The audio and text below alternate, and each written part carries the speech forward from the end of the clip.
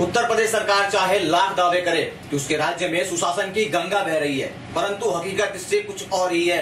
ताज़ा मामला थाना कोतवाली अंतर्गत ग्राम कोडरी बड़ैया पोस्ट भवानियापुर जनपद बहराइच का है। जी हाँ जहाँ पर दबंगों द्वारा रातों रात सार्वजनिक रस्ते पर खड़ंजे को उखाड़ कर रस्ते और मंडी की ज़मीन पर भी अवैध कब्जा करने से रोकने की कोशिश करने पर दबंगों ने ग्रामीण को पीट पीट कर लहूलुहान कर दिया, जिसे अस्पताल में भर्ती कराया गया है।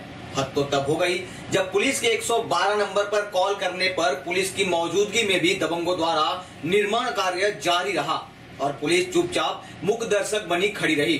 घायल ग्रामीण ने आरोप लगाते हुए कहा है कि दबंग स्थानीय भाजपा नेता है और उन्होंने गाँव जाने वाली की सड़क बंद कर दिया है। शायद बीस साल से खंजा लाग रहा है। मंडी के निकास पर रास्ता बिल्कुल मेन न है।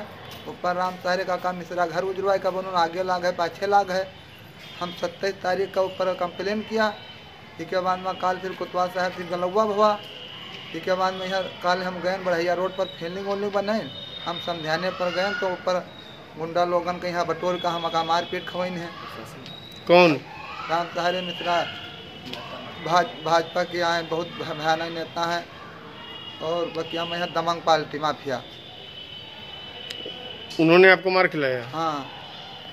कहाँ कहाँ आई हाथ पकौड़ा टूट गया है मतलब लमसम बावा और कोक पर चोट लागे खुपड़ी पट्टी है। Bureau report, TV nine India, Bahraich.